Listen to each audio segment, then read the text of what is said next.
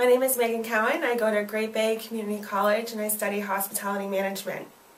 When I was first considering going back to school, I was a little nervous about community college because I thought I'd have a hard time making friends because you drive to school, go to class, you go home, you're not living on campus. I was really wrong. I've made friends in classes. Um, I got involved in some student organizations like the Heron Literary Journal and the Hospitality Club.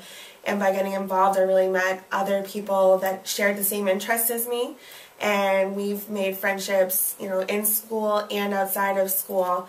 Um, I've made friendships that have lasted longer than when I went to a college where I lived on campus and I saw these people all the time.